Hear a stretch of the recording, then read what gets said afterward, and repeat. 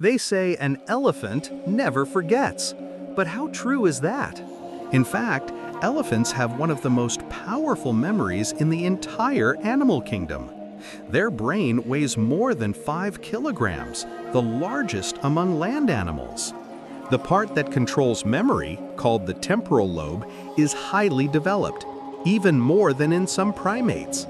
This gives elephants the ability to remember places, sounds, and even faces.